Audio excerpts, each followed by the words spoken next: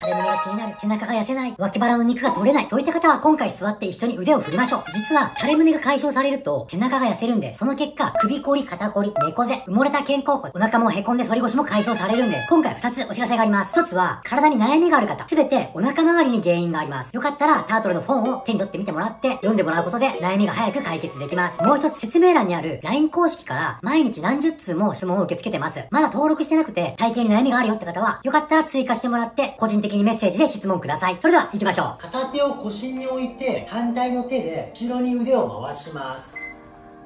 親指後ろ向けて、円を描く感じで動かしていきます。ずっと同じ方向は疲れるんで、途中で入れ替えてください。あんまり無理に動かすと次の日肩こりみたいになるんで無理せずね半分ストレッチぐらいの感覚でやってみてください。楽に手を置いて交互に手を伸ばしていきましょう。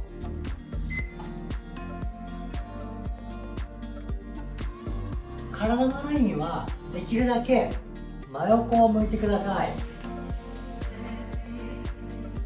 前かがみに倒れないように胸張って真横。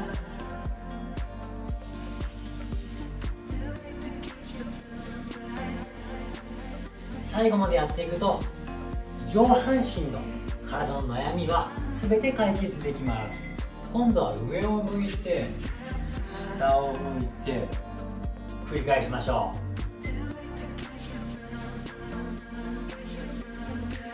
首がね硬くなってしまうとどうしてもスマホ首になってしまってストレートネックになると必ずね体が前に持ってかれて猫背になるんで首が前に出ないようにね正しい位置に戻しましょう。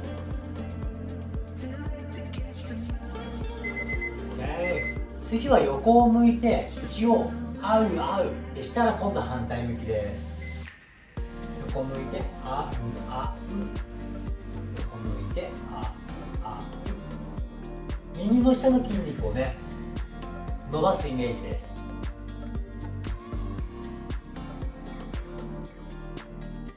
この筋肉がね硬くなると片頭痛起きたりね肩こり起きやすくなるんでしっかり伸ばしましょう。OK 手を後ろで組みます。斜め下にグーって伸ばしたら休みます。グーッと胸張って伸ばしたら力を抜く。グーッと伸ばしたら力を抜く。繰り返しましょう。肩甲骨を寄せて胸の筋肉をね伸ばしてます。胸の筋肉が硬くなってくるとやはり巻き型になりやすくなるんでしっかり胸張ってねいきましょう。OK 今度は手を伸ばして楽に振りましょう。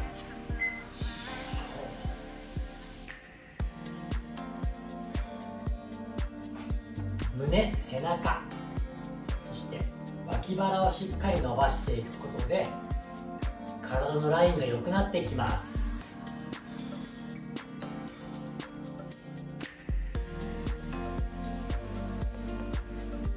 胸も上がってサイズも上がって肩こり首こり治るっていいですよね。OK 今度は手を前で組んで遠くに伸ばします。ぐーっと伸ばしたら今度は後ろで組んでぐーっと伸ばします。前に伸ばしたら後ろに伸ばす。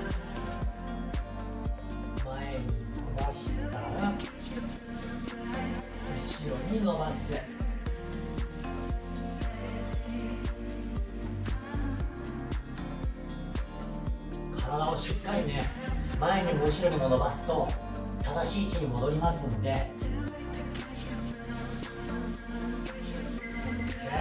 今度は背泳ぎする感じで手を後ろに回します。痛くないようにね手を回してください。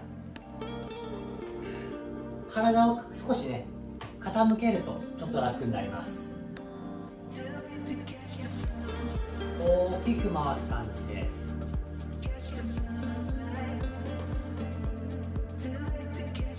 肩背中が硬くなるとね凝りが取れない体になりますからしっかり動かしていきましょう。さあ伸ばした手を親指上向けて後ろに引っ張りで戻す。肩甲骨をグッと寄せたら戻す。手を後ろにするときに首が前に出ないように前後に動かした首の真ん中。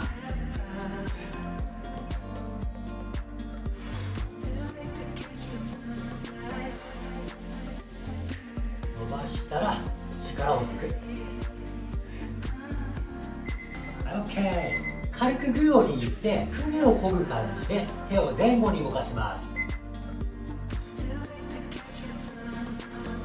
肘引くのはね斜め下です。グッと引肘引くときに首が前に出ないようにね。腕肩だるかったらねマイペースでいいです。休みながらいきましょ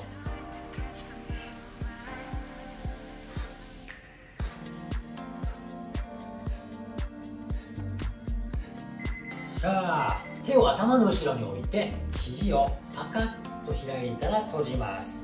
よっしょ行きましょう。ちょっと肩がねだるくなるかもしれないんでだるかったら手を下ろして休みながらしてください。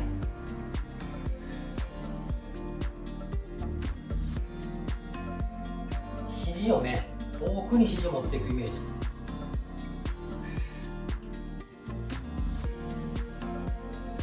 気持ち胸張る感じです。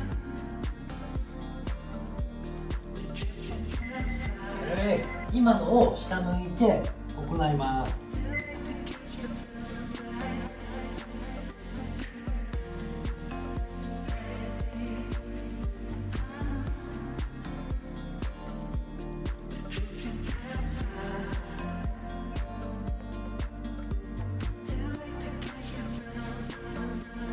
マイペースでやってください。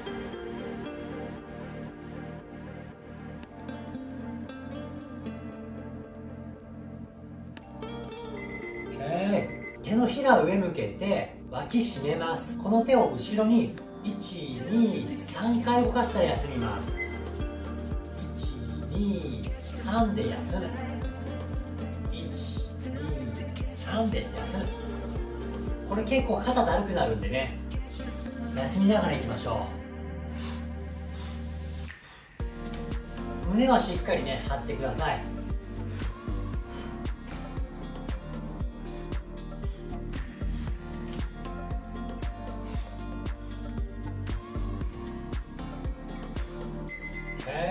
今度は軽くグーを握って斜めにパンチ。パンチしない肘はね引いてください。引きながらパンチ。あと。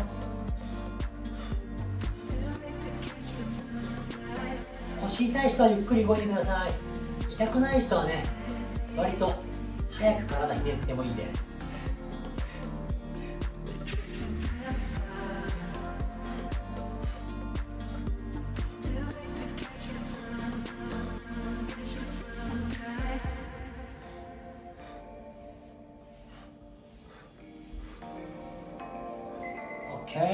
親指後ろ向けて手は L の字。この手を後ろに振ります。いきましょう。これで猫背巻き肩が改善されるんでしっかり手をね後ろに振ってください。もし手がだるくなったら下ろして休んでください。ああ手だるいですねこれね。後ろに振る。おおだるい OK はい。ラストは膝立ちから片足前に出しましょう。手のひら上向けて親指後ろ向けます。このまま胸を張って上を向いて肘をキュッキュッキュッと締めます。よいしょキュッキュッキュッて上向いてです。ねこれも最後です。頑張って。しっかり肩甲骨をね意識しておおバランスがいるしっかりね胸をグッと肘をね大きく。おお OK さあ反対も一緒です。ラスト頑張って。いきましょう。サードにやって。グッグッグッと。もう最後。あいいよっていうまで動いて。あー。汗が出てきた。ラ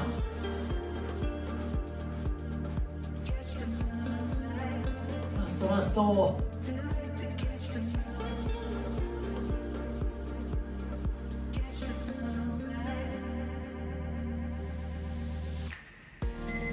オッケー。うわー。ー背中が頑張って最後までやったよーって方は、グッドボタンとコメントで教えてください。説明欄にある公式 LINE を追加で質問に答えてます。よかったら悩みを相談してください。